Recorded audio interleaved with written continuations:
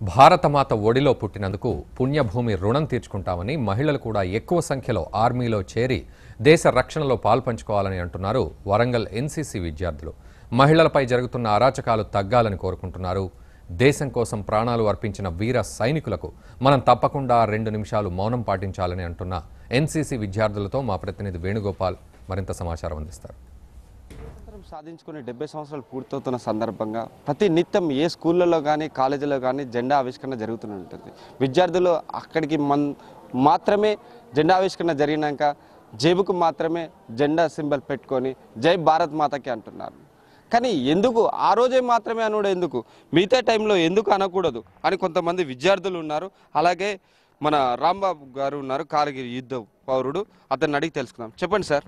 ఈరోజు ఈ దేశంలో ట్వంటీ సిక్స్ జనవరి ఫిఫ్టీన్త్ ఆగస్ట్ కార్యక్రమాలు చేసుకుంటూ ఒక ఫ్లాగ్ పెట్టుకొని దాన్ని నమస్కరించుకుంటూ అంతే అదే రకంగా ఆ తర్వాత మళ్ళా ఒక ఒక మళ్ళా మళ్ళా పండగ వచ్చిన రోజే పండగ చేసుకునే ఉద్దేశం కాదు.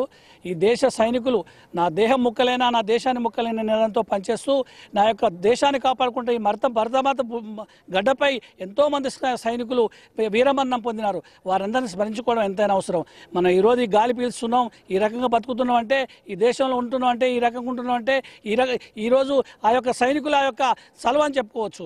ఆ సైనికులు స్మరించుకోవడం లేదు లేదు. యువత తప్పుదోమ పట్టడం కోసం మధ్య మద్యపానానికి డ్రగ్స్కు అ- అలానే సిగరెట్ తాగడం వివిధ యొక్క వ్యసనాలకు అలవాటు పడేసి ఈ యొక్క దేశ యొక్క భవిష్యత్తును దెబ్బతీసే విధంగా ప్రవర్తిస్తుంది. ఫిఫ్టీన్త్ ఆగస్టు ట్వంటీ సిక్స్ జనవరే కాదు ప్రతిరోజు భరతమాత జయ అని చెప్పి చెప్పాల్సిన అవసరం ఉంది. చెప్పండి మా మీరు చెప్పండి ఇటువంటి పరిస్థితుల్లో యువత ఏ విధంగా ఉండాలనుకుంటున్నారు? యువత మొదటిగా మహిళలు చాలా మంది నాకెందుకులే అని వదిలేసుకుంటున్నారు. భర్త భూమిలో పుట్టి కూడా వాళ్ళు ఇంత గొప్ప భూమి మీద జన్మించినందుకు వాళ్ళు గర్వకారణంగా ఉండాలి. వాళ్ళకి చాలా సెల్ఫ్ డిఫెన్స్ అనేది చాలా ముఖ్యము. ఈ రోజులలో మహిళలు కూడా చాలా ఏంటంటే ముందుకు రాకుండా వెనుకంజలోనే ఉండిపోతున్నారు.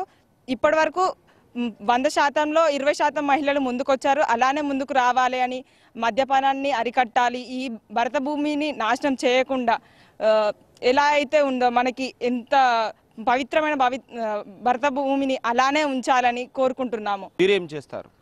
సో భారత్ మాత అని అంటే ఓన్లీ మనం ఫిఫ్టీన్త్ ఆగస్ట్ మరియు ట్వంటీ సిక్స్ జనవరి రోజే మాత్రమే గుర్తు చేసుకోవడం కాదు. ఏదో ఆ రోజు మాత్రం గుండెల మీద జెండా పెట్టుకొని ఆ రోజు ఒక్క రోజే భారత్ మాతకి చేరడం కాదు. ఎలా ఉండాలని అంటే సొసైటీలో ప్రతి ఒక్క సిటిజన్కి రెస్పాన్సిబిలిటీ అనేది ఉండాలి. అది అతను పోలీస్ ఆఫీసరే కానీ అతను ఒక సోల్జరే కానీ ప్రతి ఒక్కరి రెస్పాన్స్ రెస్పాన్సిబిలిటీ అనేది తీసుకోవాలి. ఎందుకంటే ప్రతి ఒక్కరి రెస్పాన్సిబిలిటీ వల్లనే ఈ డే నేషన్ అనేది డెవలప్ అవుతుంది. కాబట్టి ప్రతి ఒక్క రెస్పాన్సిబిలిటీ తీసుకోవడం అనేది నా ముఖ్య ఉద్దేశం. అలాగే ఇప్పుడు ఉన్న ప్రస్తుత సిచ్యువేషన్ ఎలా ఉందనంటే ప్రతి ఒక్క స్టూడెంట్ స్మార్ట్ ఫోన్ వాడడం. వాట్సాప్ ఫేస్బుక్ ఇలాంటి సోషల్ మీడియాని మిస్యూజ్ చేయడం ఇంకా ప్లస్ డ్రగ్ డ్రగ్స్కి అడిక్ట్ కావడం ఈ చిన్న వయసులోనే ఓవర్ ఓవర్ స్పీడ్లో బైక్ రైడ్ చేయడం కానీ డ్రగ్స్ తీసుకోవడం కానీ స్మోకింగ్ కానీ అమ్మాయిల్ని ఏడిపియడం కానీ ఇలాంటి విషయాలు ఈ చిన్న చిన్న విషయాలు కనుక మనం దృష్టిలో పెట్టుకొని జెండర్ డిస్క్రిమినేషన్ లేకుండా ప్రతి ఒక్క విషయంలో కూడా మనం రెస్పాన్సిబుల్గా ఉండి ఈ దేశానికి ఏదో చేయాలి ఈ దేశం కోసం ఒకటి ముఖ్యంగా గుర్తుపెట్టుకోవాల్సిన విషయం ఏంటనంటే మనకి స్వతంత్రం రావడానికి అప్పుడు మన నేషనల్ లీడర్స్ ఎంతో కష్టపడ్డారు. దాని గురించి మనకు తెలియదు. కానీ ఇప్పుడు మనం ఎలా అంటే ఆ నేషన్కి ఇంత రెస్పెక్ట్ ఉంది. ఇప్పుడు ప్రతి ఒక్క ఏ- ఏ ఫీల్డ్లో చూసుకున్నా కానీ ఇండియా టాప్ మోస్ట్ పొజిషన్లో ఉంది. అలా టాప్ మోస్ట్ పొజిషన్లో కంటిన్యూ చేయాలంటే యాజ్ ఎ సిటిజన్గా యాజ్ ఎ స్టూడెంట్గా యాజ్ ఎ ఎన్సీసీ కెడెట్గా మన యొక్క రెస్పాన్సిబిలిటీ ఏంటంటే నేషన్కి ఫస్ట్ రెస్పెక్ట్ ఇవ్వాలి. సార్ చెప్పండి సార్. అంటే ఇలాంటి పరిస్థితులలో మీరు ఇలా స్టూడెంట్లను చాలా మంది తయారు చేస్తున్నారు. కార్గిల్ యుద్ధానికి సిద్ధం పడుతున్నారు చాలా మంది అంటే మీరేమంటున్నారు? దేశానికి ఏం కోరుకుంటున్నారు? ఈ దేశంలో ఈ భరతమాత గడ్డ మీద పుట్టి మనవంతు ధర్మంగా మన తల్లిదండ్రులను మెప్పించి కానీ ఒప్పించి కానీ మనం సైన్యంలో చేరి ఈరోజు చైనా వాళ్ళు ఓ రకంగా ఉద్రిక్త వాతావరణం తెలియజేస్తున్నారు. తిప్పి కొట్టడానికి మన సైనికులు సరి రీతిలో బుద్ధి చెప్పడానికి రెడీగా ఉన్నారు. అలానే పాకిస్తాన్లో రోజుకు ఒకసారి చెప్పి వాళ్ళు కల్లోలితం ప్రకటిస్తున్నారు. అయినా కూడా తిప్పి చెప్పుకోవడానికి కొట్టడానికి మన సైనికులు సిద్ధంగా మనవంతు ధర్మంగా మన చెల్లెలే కానీ మన అక్కలే కానీ మన తమ్ముళ్ళే కానీ మనం ఈ దేశానికి ఏమి ఇస్తున్నాం అనే ఉద్దేశంతో మనం దేశానికి ఇస్తుంది మనము మన పిల్లలు మన సంసారం మనం కాదు. మన దేశానికి ఏదో ఒకటి చేయాలన్న తపనతోటి మన తమ్ముళ్ళను మన చెల్లెలను ప్రోత్సహిస్తూ అంతే అంతేకాకుండా మా కార్గిల్ సొసైటీ నుంచి మరిపేడ నుంచి ఒక ఆరుగురు మైబా నుంచి తొమ్మిది మంది ఇదే కాలేజ్ నుంచి అజిత్ అనే స్టూడెంట్ నా యొక్క స్తూపాన్ని ఇన్స్పైర్ అయి చెప్పేసి ఈరోజు సైనికులు చేయడం జరిగింది.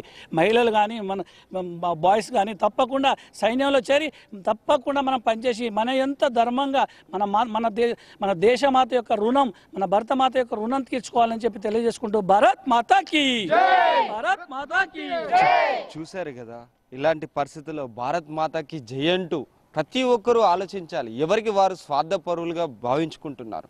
అసంటి ఘటనలు రావద్దు. స్వార్థం అనేది నిరాశకు గురి చేస్తుంది. అయితే ప్రతి ఒక్కరూ భావి భారతదేశం ఏ విధంగా ఉండాలి? దేశానికి మనమేమి ఇచ్చామని చూసుకోవాలి కానీ దేశం మనకేమి చేసిందని కాదు. ఇది ఆలోచించాలని చాలామంది చెప్తున్నారు. Camera person Ranjith